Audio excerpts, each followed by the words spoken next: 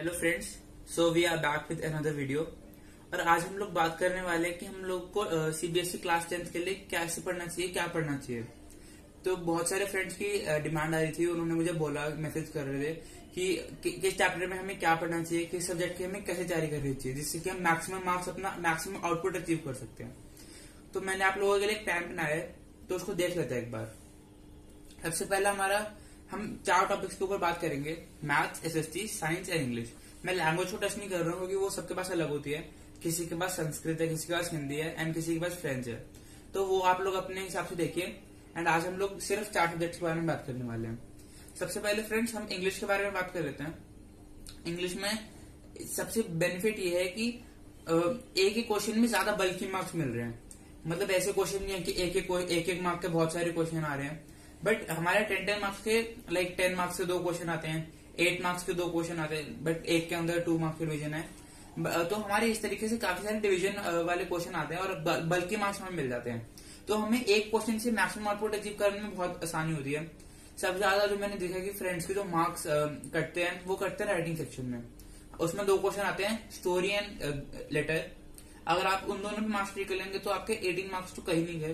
क्योंकि मैं आपको बता रहा हूँ बोर्ड वाले जो एग्जामिनर होते हैं, उनके पास इतने पेपर होते हैं चेक करने के लिए, और सिर्फ़ चार घंटे होते हैं। उनके दिमाग में सिर्फ़ दो चीज़ें होती हैं, कि यार, इस पेपर को चेक करके मुझे पैसे मिल रहे हैं, और जल्दी से जल्दी मैं पेपर को खत्म करके घर जाऊँ। तो सिर्फ़ दो चीज़ें चेक करते हैं, कि फॉर्मेट में गलती तो नहीं है, और आपकी स्पेलिंग में कोई मिस्टेक तो नहीं है। वरना तो सबके व्यूज़ अलग होते हैं तो वो मार्क्स दे देते हैं। अगर आपका फॉर्मेट गलत है तो ये टीचर के बोलते हैं कि आप फॉर्मेट लिख दो, आपको दो मार्क्स मिल जाएँगे। वो बात ठीक है बट अगर आपको फॉर्मेट गलत है तो एग्ज़ाम पूछता है कि बच्चों को फॉर्मेट ही नहीं आता तो वो नीचे का लिखा हुआ उसने? वो फॉर्मेट देके पूरा काट देते ज़ीरो मिल जाता है डायरेक्ट तो आप इस चीज़ को समझिए। उसके बाद हमारा आ जाता है स्टोरी राइटिंग के ऊपर। स्टोरी राइटिंग में हम हमारा मेन चीज़ दो चीज़ होती है। एक तो सबसे पहले टाइटल टाइटल को आप हमेशा लास्ट में रखिए। तो हम लोग टाइटल की बात कर रहे थे। टाइटल क्या करते हैं बहुत सारे फ्रेंड्स की लास्ट के लिए छोड़ देते हैं और फिर लिखना भूल जाते हैं। और मैं आपको एडवाइस करूँगा कि टाइटल को लास्ट में ही लिखिए, क्योंकि आपको नहीं पता कि आप स्टोरी को कहाँ पर जाते ले जाते कहाँ पर ट्विस्ट कर देंगे तो आपका टाइटल ऑल्टर हो सकता है। टाइटल को सिर्फ़ तीन से चार वर्ड्स का ही रखिए। तो उसके अलावा ज़्यादा कुछ है नहीं स्टोरी राइटिंग में, आपकी एक मेन प्रॉब्लम होनी चाहिए। वरना लोग कहते हैं कि सब कुछ हैप्पी हैप्पी होते होते पूरी स्टोरी खत्म कर देते हैं। एक प्रॉब्लम होनी चाहिए जिसके अराउंड स्टोरी रिवॉल्व करे तो उसके हिसाब से हम लोग स्टोरी को कंस्ट्रक्ट करते हैं। तो हमारा ये तो स्टोरी एंड लेटर का हो गया है। हमारा नेक्स्ट जो सबसे इम्पोर्टेंट सेक्शन आ जाता है वो रीडिंग सेक्शन है फ्रेंड्स उसमें भी क्योंकि हमें पता नहीं है कैसा देने वाला है बोर्ड उसमें कैसे क्वेश्चन आएँगे, कैसी वो कैबलरी आएगी। सबसे पहली चीज़ तो फैंसी वो कैबलरी ना यूज़ करें। क्योंकि हमको नहीं पता कि बोर्ड का एग्जामिनर कैसे है। कहीं उसको भी वो इस वोकेबलरी ना आती हो और वो बोल दे कि बच्चे तो पागल बना रहे कार्टो मार्क्स ऐसा बहुत बार होता है। आप लोग भी समझते हैं इस बात को। ज़्यादा फैंसी वो कैबलरी ना यूज़ करें। नॉर्मल वो यूज़ करें और अच्छे से अच्छा करने की कोशिश करें। एंड रीडिंग सेक्शन में तो हमको पता ही कैसे करना है। बस क्वेश्चन पढ़ के आंसर देने होते हैं रेगुलरली एंड आपको ज़्यादातर प्रैक्टिस करनी चाहिए। टेन ईयर के पेपर अगर आप कर लेंगे तो आपको कॉन्फिडेंस आ जाएगा कि बोर्ड कैसा देता है पेपर किस डिफिकल्टी का लेवल देते हैं तो उसके हिसाब से हमको कैसे प्रिपेयर करना है। नेक्स्ट सेक्शन फ्रेंड्स हमारा लिटरेचर सेक्शन आ जाता है। लिटरेचर के अंदर हमारा क्या है? उसके अंदर आपको सारे चैप्टर अगर आपने पढ़े हुए सबकी समरी आपको पता है, सबको आपके क्वेश्चन आंसर्स पता है आपको तो आप बहुत इजीली कर पाएँगे फुल मार्क्स में अचीव कर सकते हैं। ग्रामर के अंदर भी मैं यही कहूँगा कि आप प्रीवियस टेन पेपर या फिर कहीं से प्रैक्टिस पेपर बहुत सारी साइड से मिल जाएँगे। उनमें से आप प्रैक्टिस करेंगे तो आपको बहुत एक कॉन्फिडेंस का लेवल आएगा कि यार ये मैं कर सकता हूँ। आप बार बार पढ़िए, बार बार पढ़िए एग्ज़ाम के अंदर तो उससे आपको पता चल जाएगा कि यहाँ पे गलती है, यहाँ पे गलती है, यहाँ पे गलती है। एडिटिंग कमीशन की मैं बात कर रहा हूँ। And friends last but not the least हमारा जो नॉवल वाला है तो उसमें हमारे पास दो नॉवल है क्लास टेंथ में। एक तो है डैडी ऑफ़ यंगल ठीक है, जो कि एन फ्रैंक की है एंड सेकेंड वाली है हमारी story of my life which is of Helen Keller of course तो इसमें आपको क्या करना है two hundred to fifty words का आंसर लिखना है।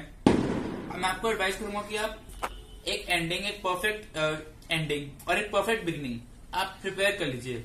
आप विकीपीडिया खोलिए, आप कहीं से भी खोलिए, आप जनरल चीज़ें खोलिए और उस बुक के बारे में अच्छी चीज़ें कि लाइक uh, अगर मैं स्टोरी ऑफ़ लाइफ की बात करता हूँ कि story of life was publish in 1903 and it is by the most famous person Helen Keller and तो आप ऐसे ऐसे करके कुछ फैंसी लाइन जैसे टीचर को अट्रैक्ट हो आपका पढ़ने का मन करे उसका आप वैसी लाइन्स लिखिए कुछ। तो फ्रेंड्स इंग्लिश का आप पेपर इस तरीके से प्रिपेयर कर सकते हैं। अगला हम सेक्शन बात करते हैं एस के बारे में। तो एस के अंदर हमारे फ्रेंड्स फोर सेक्शन होते हैं। One marker two marker three marker and five markers तो हमको अकॉर्डिंगली प्लान करना पड़ेगा कि हम कितना लिखे। हमें वन मार्क में ज़्यादा नहीं लिखने वाले क्योंकि एक ही मार्क मिलना है ऑब्वियसली और फाइव मार्क्स में हमको कम नहीं लिखना क्योंकि उसके अंदर फाइव मार्क्स मिलने वाले तो बहुत इंपॉर्टेंट चीज़ है। तो मैं आपको एक, कंपेरेटिव स्टडी बताता हूँ कि आपको कितना लिखना चाहिए हर एग्ज़ाम के लिए। तो मैंने आप लोगों के लिए शीट प्रिपेयर करके रखी है। बोर्ड की शीट ऐसी आती है फ्रेंड्स हॉरिजॉन्टल शीट होती है। तो आप यहाँ पे सबसे पहली चीज़ तो आप करिए जो बहुत स्टूडेंट्स नहीं करते इम्प्रेशन के लिए एक मार्जिन बनाइए। यहाँ पे एक बहुत ज़्यादा मतलब ब्रॉड मार्जिन बनाइए। बोर्ड में पहले से बना होता है। आप अगर बोर्ड में ना बना हो तो बनाइए। बना हो तो आप क्या करिए, एक एडिशनल चीज़ के लिए आप एक पतला मार्जिन और बनाइए। जैसे आप पॉइंट लिखते हैं तो वन टू थ्री फोर उस मार्जिन के अंदर लिखिए। वो ज़्यादा क्लटर नहीं होगा आपके टेक्स्ट के साथ। और आप इधर की साइड बिल्कुल एक पतला सा मतलब ज़्यादा मोटा नहीं, वो गंदा इंप्रेशन पड़ता है कि बच्चा जगह कम कर रहा है। बिल्कुल इतना सा मार्जिन आइए। वो सेफ्टी के लिए, क्योंकि बोर्ड के ट्रांसपोर्टेशन के अंदर कई बार शीट्स कोने से फट जाती है।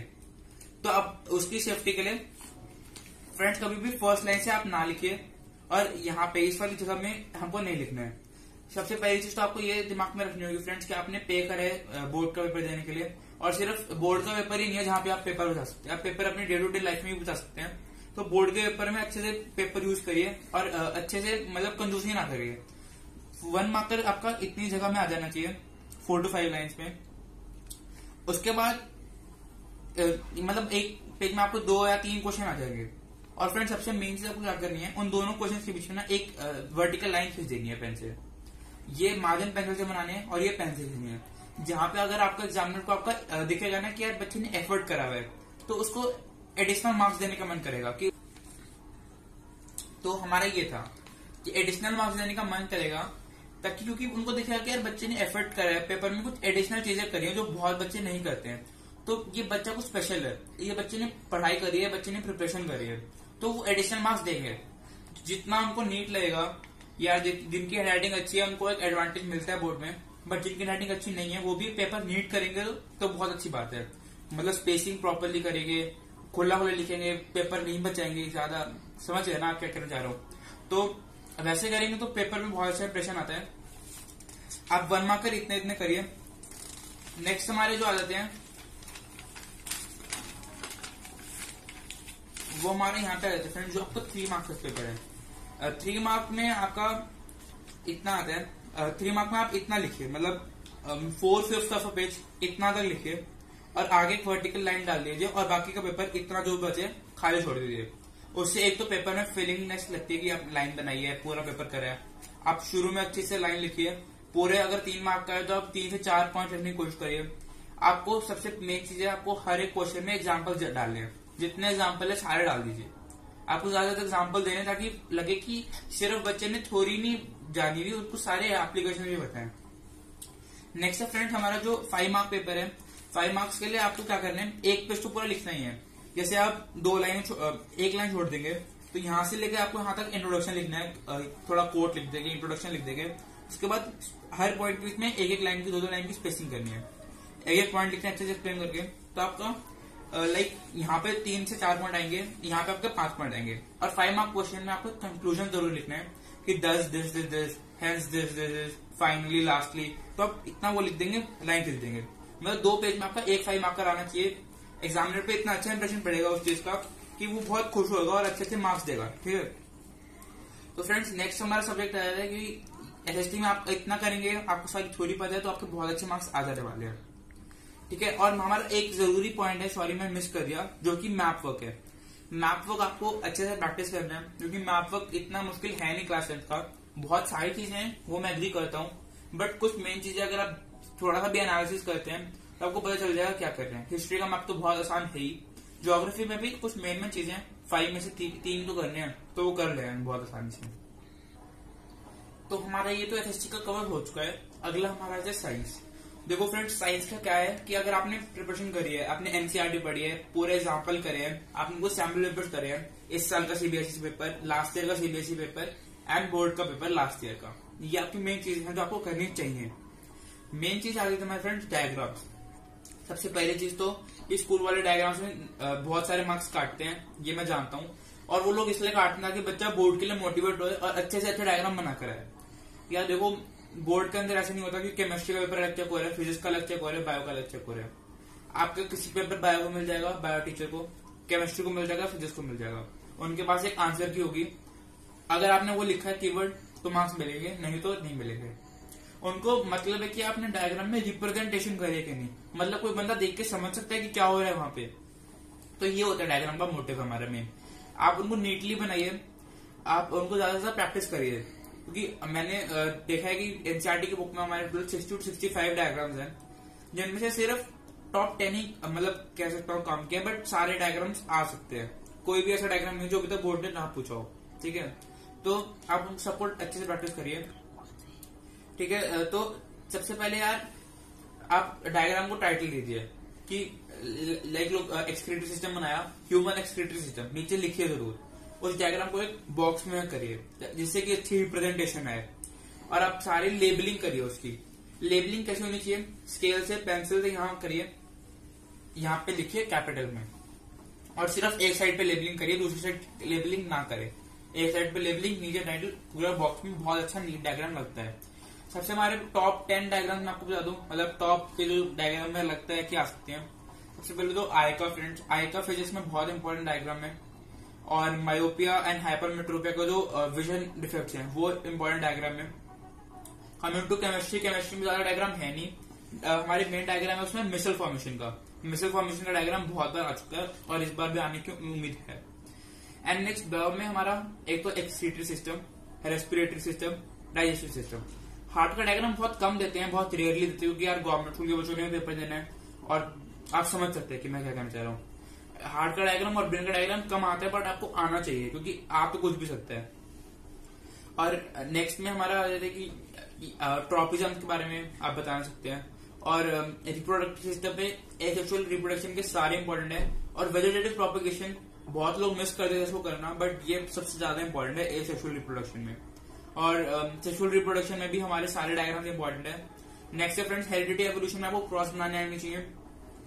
और लास्ट के दो चैप्टर के अंदर आपको सारे जो हमारे फ़ूड चेन है फ़ूड वेब्स है फ़ूड पिरामिड है वो आपको कराना चाहिए क्या कैसे एनर्जी ट्रांसफ़र होती है टेन परसेंट लॉ के थ्रू तो साइंस में हमारा मेन डायग्राम्स का ही खेल है। और दूसरी चीज़ जो मेन चीज़ है हमारी प्रैक्टिकल स्किल्स प्रैक्टिकल स्किल्स बारह मार्क्स के आते हैं। दो दो नंबर के बिल्कुल फ्री मार्क्स है। बिल्कुल फ्री मार्क्स आपने प्रीवियस टेन ईयर के पेपर कर लिए ना उसमें तो आपके बहुत आराम से उसमें बारह में से बारह आ जाएँगे। तो आप ये मार्क्स तो अपने पक्के करिए कि बीस मार्क्स तो हमें पता है कि यार हमारे रेडी है बाकी में मेहनत करके ज़्यादा मार्क्स लाने की कोशिश करेंगे। तो यार ये था हमारा साइंस का। अब चलते जल्दी से मैथ्स के ऊपर। मैथ्स के अंदर सबसे मेन चीज़ क्या करनी है आपको? एनसीआरटी फोकस करना है। एनसीआरटी से आपका 80 में से अगर मार्क्स है ना तो मुझे sixty to sixty five marks वो बिल्कुल इजी पेपर देते हैं, जो कोई भी बच्चा एनसीआरटी करके कर सकता है। यार, उनको भी बच्चे पास करने हैं, वो चाहते तो है नहीं कि बच्चे फेल हो जाए और टेंथ में रहे। तो उनको 65 नंबर का बहुत आसान पेपर होता है। दस नंबर का यार एवरेज पेपर होता है, जो बच्चा थोड़ा सा करेक्ट करेगा अपने आप को तो वो कर सकता है।